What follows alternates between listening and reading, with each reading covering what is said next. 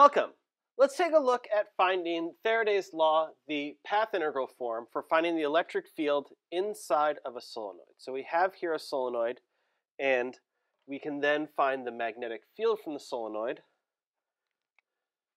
is that it will have a constant magnetic field inside with relation to space.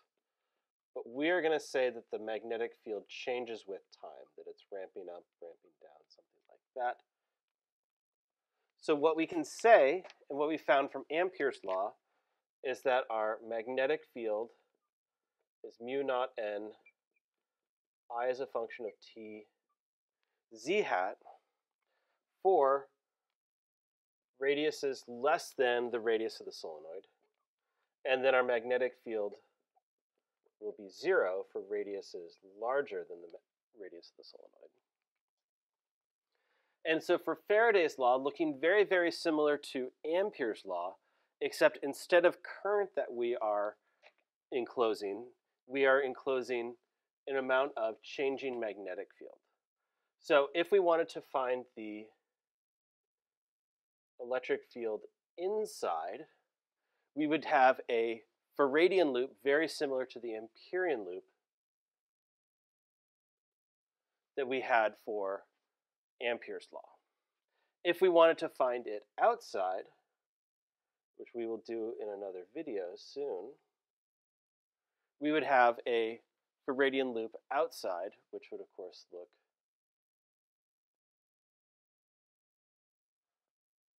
something like this in this case. So just for the inside for this video, we want to, of course, right, define our Faradian loop as having itself a radius r. And then we can look at both sides of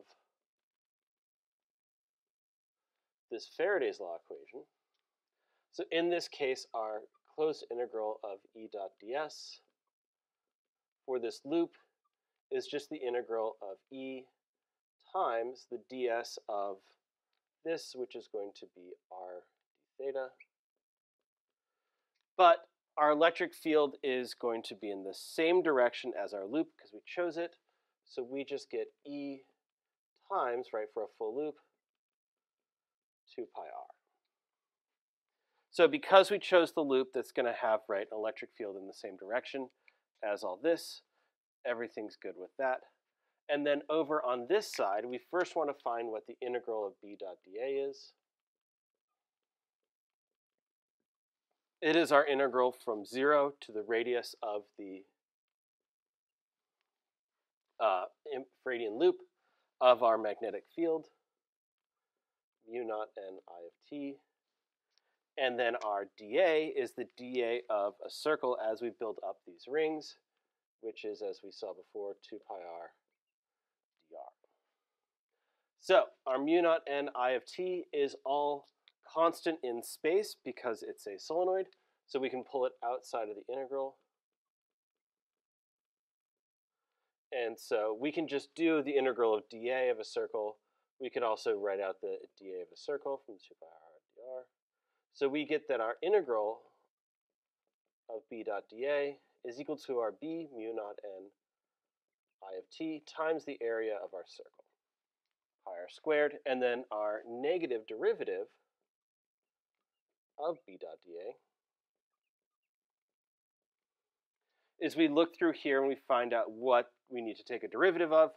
Mu naught is a constant, that's not going to change with time. N is the number of turns in our solenoid, the turn density actually, that's not going to change with time pi and the radius of our solenoid are not going to change with time. It's just this I of t that's going to change with time. So we get this minus sign from here, mu naught n pi r squared times di of t dt.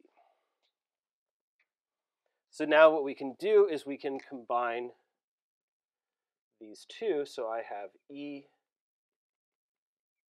times 2 pi r is equal to negative mu naught n pi r squared di of t dt. I can do a little bit of cancellation here. My 2 and my pi, or just the pi, sorry, the 2 remains the same. and I can cancel the r. So I cancel pi here and r to 1 power here. And so in this dot product, I'm saying that my electric field is in the tangential direction.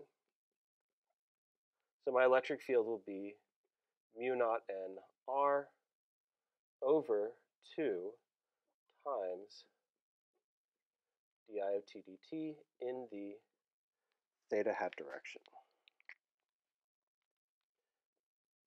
For radiuses less than the radius of the cylinder, of the solenoid. So if we look at this, we can look at how our electric field changes with distance.